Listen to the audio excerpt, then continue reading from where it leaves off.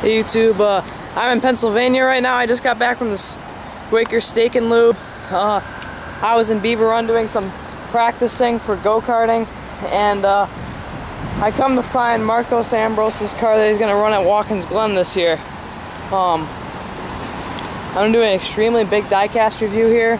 On the hood, you have Nationwide, Quick Fill, Red Apple, Zippo, Toyota Camry, 47, um, JT, JTG Racing.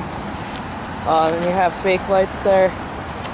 Moog, Mail, Comp, Edelbrock, Wix, JE Pistons, Goodyear, NASCAR Nationwide Series, Mechanix Wear, Coors Light Pole, Mobil 1, Autometer, Featherlite, Jags, Penske, 1 ARP, the inside of the car here. Very cool. You have Marcos Ambrose, you have 47 on the hood, 47, Driving America with the lighter, Toyota, Source 1, Valtech, Pepsi, Hershey's, Z-Line, 7 Up, Zippo, Quick Fill,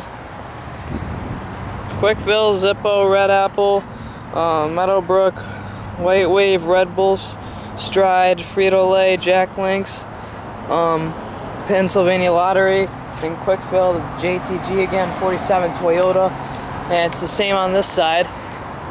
Um, I'm I'm really amazed right now. It's pretty cool. Uh, I brought my video camera with me to tape when I'm down here, but uh, I never ended up taping. Never got a chance to. But uh, it's kind of a shame. But um, really cool. Kind of a good surprise here. And uh, hope you enjoyed this and you're ready for my upcoming stop motion videos.